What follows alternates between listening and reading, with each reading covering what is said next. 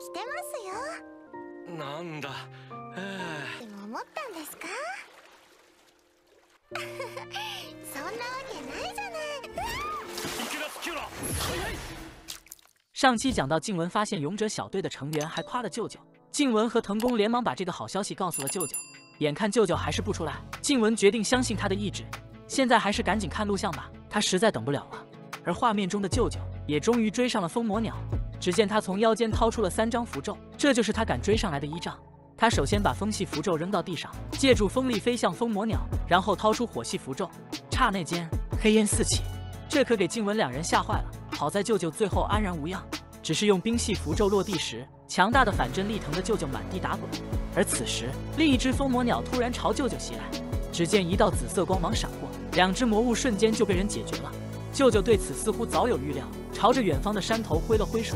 就在静文两人看得十分疑惑之时，舅舅告诉他们，这是精灵干的，他应该是找到剑鞘了。此时精灵突然发现舅舅看的方向不对，气得他就又开了一枪。看到舅舅选择逃跑，他更是开启了追击模式。舅舅觉得这可能就是精灵王族吧，能像玩游戏一样狩猎人类。就当静文想为舅舅打抱不平的时候，藤宫很好奇那些鸟怎么会这么强。原来是因为疯魔鸟呼出的气体实在太臭，小精灵们一闻到这味道就不想工作了。所以哪怕是疯魔鸟已经没了，但空气中残留的臭味依旧让舅舅用不出魔法。等舅舅找到艾莉西亚，他就看到红毛两人全被催眠了，而弱小无助的艾莉西亚只能逃窜。催眠兽正兴奋地看着这一幕，于是舅舅问艾莉西亚能不能用魔杖解除催眠。可艾莉西亚想都不想就说不能。但舅舅想到精灵的道具都有机关，他直接上手开始操作，没想到魔杖还真有了反应，魔杖飞到了空中，一阵耀眼的光芒闪过，舅舅毫不犹豫地护住了艾莉西亚。映入眼帘的是两道光柱，巧妙地将它们分割开来。舅舅发现这道光没有危害，他让艾莉西亚趁机解除他们的催眠。平静下来的艾莉西亚很快就解除了三人的催眠。不等他开心几秒，催眠兽直接扬起了他的拳头。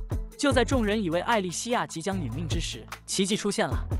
催眠兽到死都想不到，艾莉西亚竟然会因为魔杖的副作用，从而能够使用同伴的招式，而且他还获得了神明之力的加成，直接拥有了勇者的真实水平等。催眠兽缓过神来后，就想赶紧离开这里。随着他撞开栅栏的瞬间，一大群岩沙兽从中挤了进来。他们刚想发动攻击，就被一根根锁链困住，而这正是舅舅擅长的锁链魔法。伴随着舅舅嚣张的脚步，无数水质精灵从他的脚下涌出。毕竟这里的水质精灵早就怒不可遏了。随后，舅舅放开岩沙兽，趁着他们一拥而上，舅舅的脚下冒出了无数水蛇，毫不留情地将他们咬在空中。随着舅舅拳头的握紧，绚丽的蓝色光芒一闪而过，在众人震惊的眼神中，天空下起了瓢泼大雨，直接浇灭了熊熊大火。到这里，危机总算结束。旅馆一家人对艾莉西亚表达了感谢，舅舅也不下了结界，成功造出了一个新的露天温泉。这段故事看得静雯意犹未尽，但藤宫突然想起，舅舅不是说有人不让他消除记忆吗？不提这个，舅舅差点忘了。那是战斗结束之后，他又重新泡了下温泉。没多久，艾莉西亚也过来了。男人悄悄地睁开眼睛，看到她穿着衣服才放下心来。但谁想到旁边的树枝是这么不凑巧，竟然勾到了女孩的衣服。舅舅连忙对自己使用了失忆魔法，这娴熟的动作直接让静雯两人惊呆了。而此时恢复记忆的舅舅，却因为副作用，鼻血止不住地流出来。等艾莉西亚整理好衣服，舅舅却是一副什么都没发生的姿态。艾莉西亚还以为舅舅对她这种小女生不感兴趣，却不想舅舅直接告诉她自己只有二十岁。艾莉西亚万万没想到，舅舅竟然比自己还小。但事情还没有结束，万一是生日弄错了呢？原来艾莉西亚其实没有九岁以前的记忆。于是她让舅舅对她使用一下展现记忆的魔法，舅舅当然不会拒绝。艾莉西亚最初的记忆就是血雨马车，她被哥布林用马车带了出去，是红毛他们村子的守卫救下了她。或许是因为撞坏了脑袋，他无论如何也回忆不起来以前的事情，身上只有疑似姐姐送他的生日贺卡。之后他被司机收养，取名为艾莉西亚，直到他长大成人，所以他的生日其实也并不准确。而此时的舅舅却沉默了，毕竟艾莉西亚将记忆看得如此宝贵，他却擅自删除了女孩两次记忆。当艾莉西亚听到这件事，她的眼睛瞬间失去了光彩，她愤怒地起身，脸色难看地质问舅舅：“删除了他哪些记忆？”第一次是打败哥布林军团的时候，第二次就是走后门攻克迷宫的记忆。直到现在，艾莉西亚才意识到，舅舅其实才是真正的勇者，再加上修复了结界都市的结界，这已经算得上传说级勇者的壮举了。他完全不明白舅舅到底在想什么。可他不知道的是，结界其实也是舅舅破坏的。听到这里，艾莉西亚还是不相信舅舅是那种将居民的生命当成儿戏的人。舅舅犹豫片刻，他第一次在异世界中展露心扉。作为一个地球人，他真的很想回家，所以他对着坚固的结界用出了最强的攻击魔法，想看看是否能从产生的空间扭曲中找到回归的线索。但结果却是一无所获。明白真相的艾莉西亚恳求舅舅不要再使用失忆魔法，但舅舅依旧坚持，他这样做是为了生存，只要有必要，他就一定会用。面对如此执拗的舅舅，艾莉西亚十分痛苦，她大喊着，她真的不希望舅舅将来忘记她。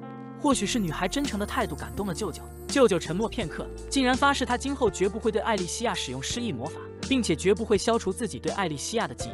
突然，艾莉西亚想到了什么，刚才舅舅原来是在用失忆魔法呀！这句话引起了舅舅的兴趣，但艾莉西亚对此根本没法细说。可刚立下约定的舅舅又怎么会罢休？或许是被纠缠的不行，艾莉西亚让舅舅闭上眼睛，她决定亲自演示一下刚才发生的事情。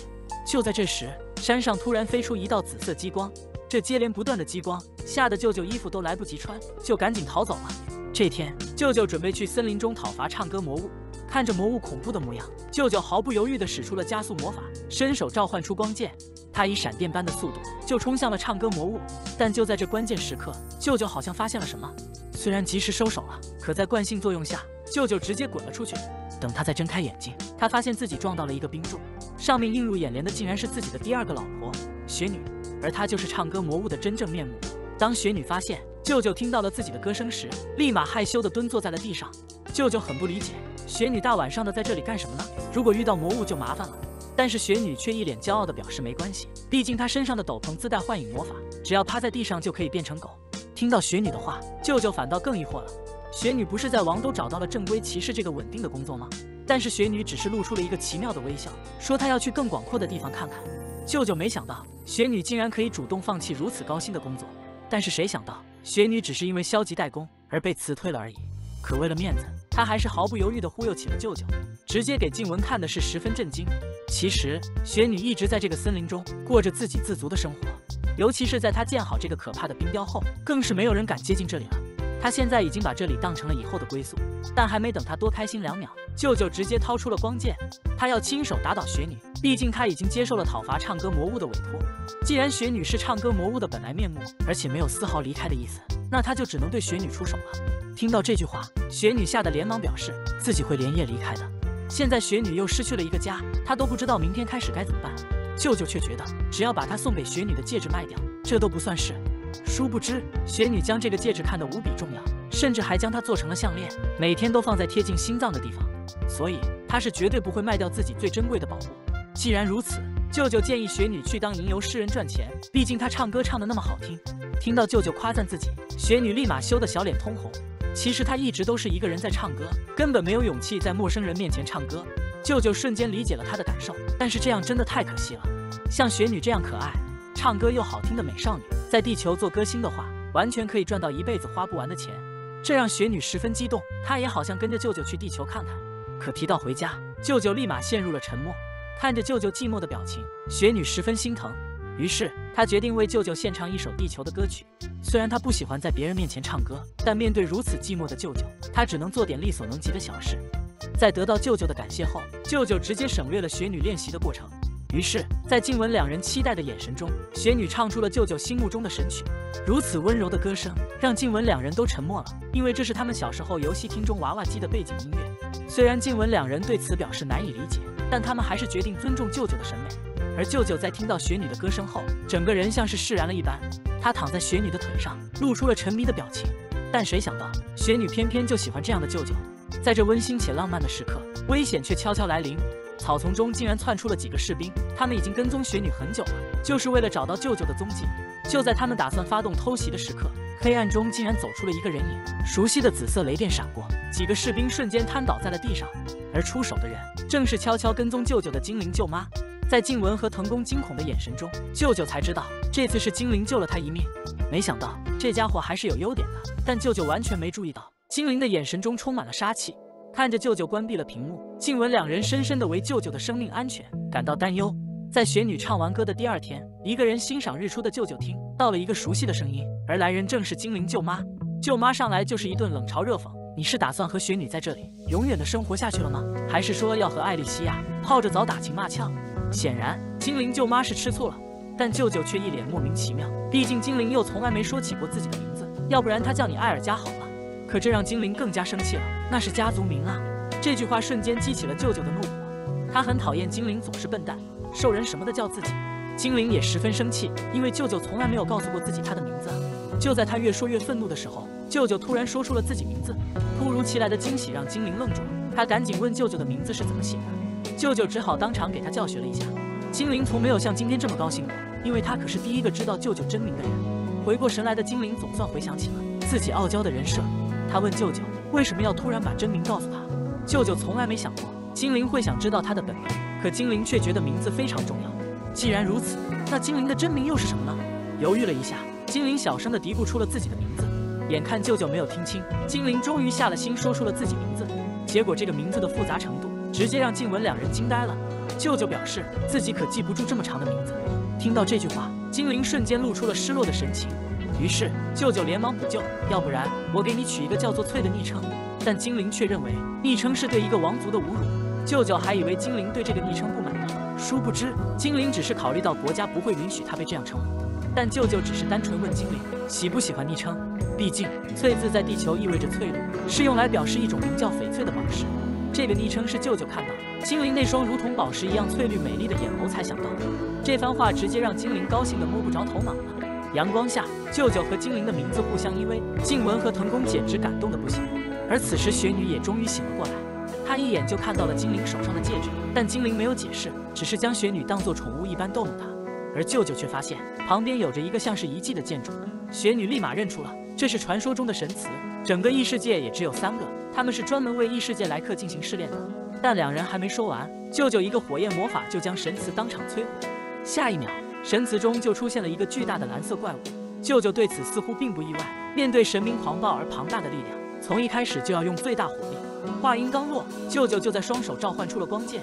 这急转直下的剧情让静文赶紧叫了暂停，他们完全没看明白舅舅在干什么，但舅舅却十分坦然，将神祠中的庞大力量打倒。难道不是推进剧情的正确做法吗？这个解释直接让静文两人不知道该怎么吐槽了。而此时腾宫却很疑惑，为什么破坏了一个神祠就变成这样了？神祠难道不是有三个吗？很快，精灵就自动给他展示了答案。舅舅在消灭哥布林大军时意外摧毁了一个，其次就是艾莉西亚的那次。静雯没想到舅舅的动作竟然如此利索。回归正题，舅舅用两把光剑直接用出了星爆气流斩，直接将敌人击穿，但怪物很快就恢复了原样。就在这时，精灵突然发现地上发生了异常的生命能力喷涌，他意识到这个怪物只是神圣魔法的结晶，任何攻击对没有实体的他都毫无作用。与此同时，周围死去的魔物也因为神圣魔法开始起死回生。既然如此，精灵直接动起手来。雪女也不甘示弱，掏出动神剑就行动起来，但效果却是微乎其微。复活的魔物就像是拥有不死之身一般。于是，舅舅打算缩短距离，直接将他们全部烧光。但还没等他用出魔法，只见怪物伸出双臂，一道蓝光瞬间击中舅舅。可下一秒，毫发无损的舅舅就转过身来，在精灵两人惊恐的眼神中，舅舅举起手臂。念出了咒语，一道火焰凤凰不由分说的就冲两个女孩袭来。尽管精灵奋力的向雪女扑去，但他扔出的符咒却是丝毫没有作用。好在雪女在关键时刻用动神剑护住了两人。精灵也意识到了舅舅受到了精神控制。就在两人危在旦夕的关键时刻，红毛及时赶到，一拳就将舅舅毫不留情的击飞了出去。这可让红毛高兴坏了，毕竟他上来就击倒了一只兽人。而紧随其后的艾莉西亚也对精灵两人用出了治疗魔法。但当艾莉西亚看到精灵的那一刻，三个女孩都愣住了。既然精灵出现在了这里，那刚才被打飞的兽人不就是舅舅吗？艾莉西亚吓得连忙给舅舅用了一个治疗。当他听到精灵给他介绍的目前情况，艾莉西亚立马决定要用魔杖将舅舅的意识扭转回来。说完，不顾精灵的阻拦，艾莉西亚毫不犹豫地念出了咒语。此时，时间好像凝固了起来。艾莉西亚看到了年幼的舅舅，一直身处一个狭小的房间里。他还以为自己是触碰到了舅舅内心的黑暗，直接给众人听的同情心泛滥。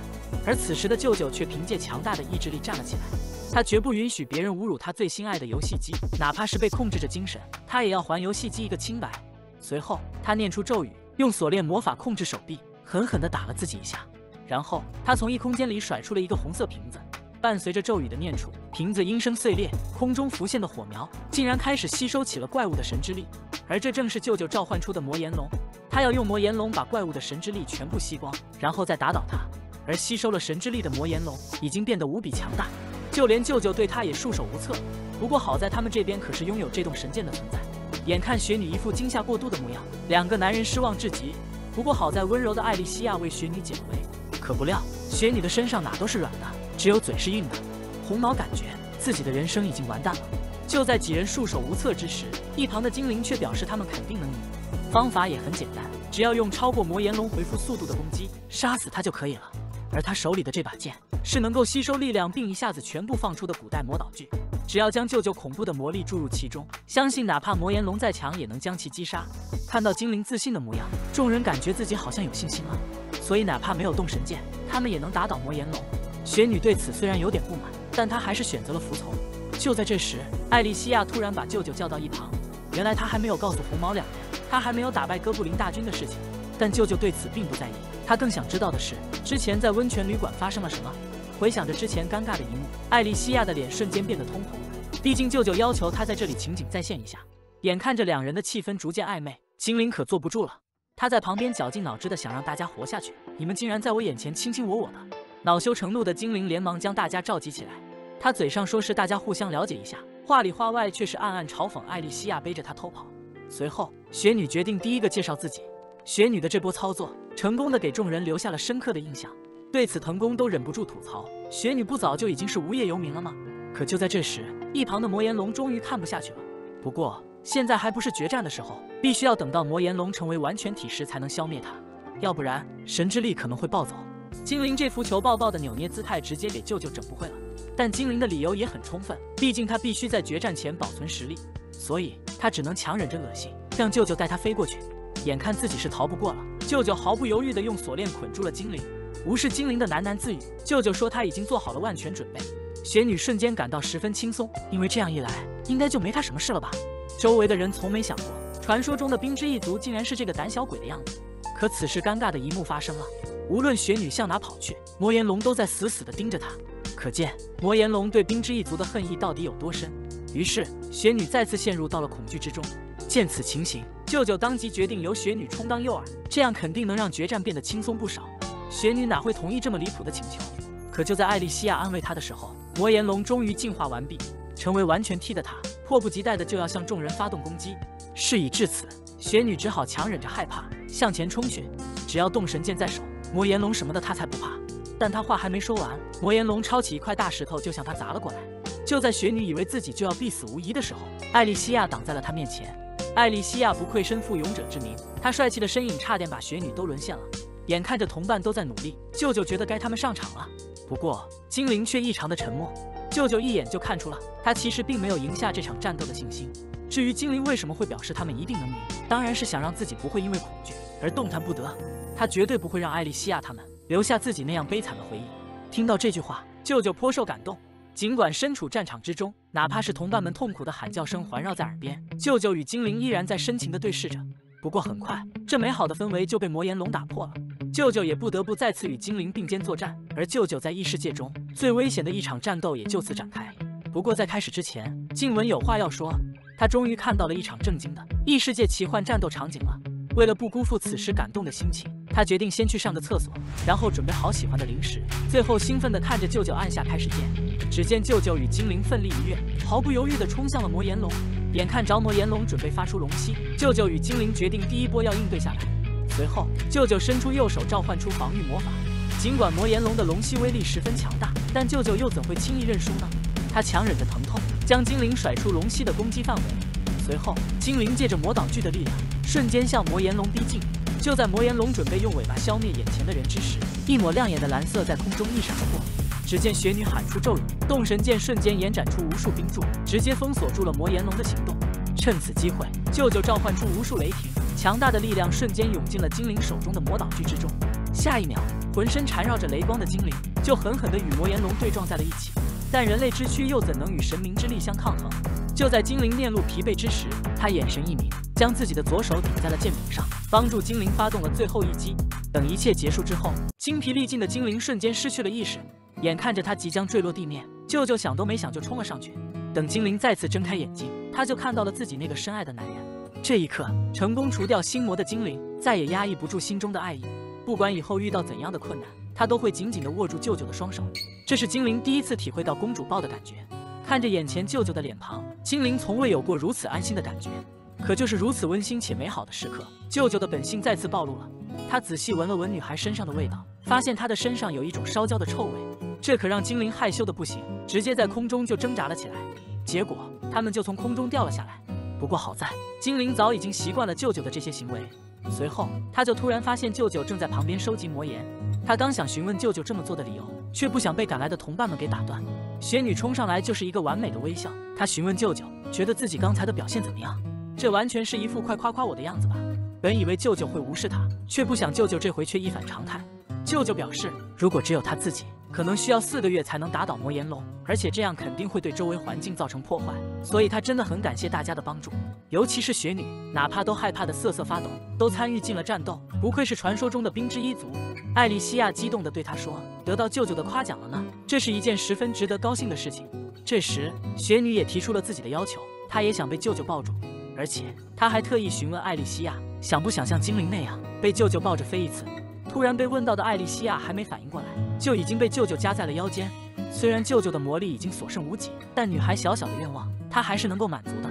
第一次飞上天的艾莉西亚被吓得直哆嗦，她连忙让舅舅把她放了下来。无视浑身散发阴森气息的精灵，红毛两人也想试试飞上天的感觉。看着精灵充满杀意的眼神，雪女感觉自己好像惹麻烦了。不过说起来，舅舅还要感谢雪女昨天晚上的帮助。那真是一个充满魅力的夜晚，雪女的动人歌声至今仍在她的耳边回荡。这毫不掩饰的赞美让雪女感到既兴奋又害羞。她请求舅舅不要在别人面前说这件事，但是还没等她回过神来，她发现自己的手上多了一枚戒指。这一幕让一旁的精灵气得不行，于是她开始安慰自己，她可是与舅舅互通真名的关系。然而下一秒，舅舅就告诉了雪女两人自己的真名。这件事情让精灵彻底忍不住了，这下子她甚至连仅存的优势都不复存在了。面对眼前三人的和谐氛围，精灵再也无法忍受，他对舅舅质问：“为什么要泄露他的真名？”然后挥动小拳头朝舅舅打去。就在这时，装有魔岩的瓶子突然坠落，看着舅舅惊慌无比的样子，精灵趁机发出疑问：究竟他打算如何使用魔岩？事实上，当舅舅在击败魔岩龙的那一刻，巨大的能量碰撞导致时空产生扭曲，这意味着只要他能够让魔岩变得更加强大，并让其攻击力与他的力量碰撞，或许他就有可能回到家。然而，舅舅刚说完这些，精灵一剑劈来，他要亲手毁掉这个可能摧毁他余生幸福的事物。这种残忍的举动，让屏幕前的静雯和其他两人都感到受到一股寒意。眼看着舅舅终于找到了回家的线索，藤宫也忍住发问：舅舅究竟是怎么回来的？是用的这个办法吗？但在舅舅回答之前，静雯就急忙制止了藤宫，毕竟剧透可不是什么好事。然而，藤宫觉得十四年的时间实在是太长了。舅舅却告诉他不必担心，毕竟他是一名独行的玩家。类似之前的故事已经没有多少了。尽管如此，静雯却明白舅舅的认知与实际情况可能有很大的差异。等吃完饭回去的时候，静雯就发现电脑屏幕突然又亮了起来。她连忙去找舅舅询问原因，可舅舅却告诉她，那时他被没收全部财产，关在了监狱里。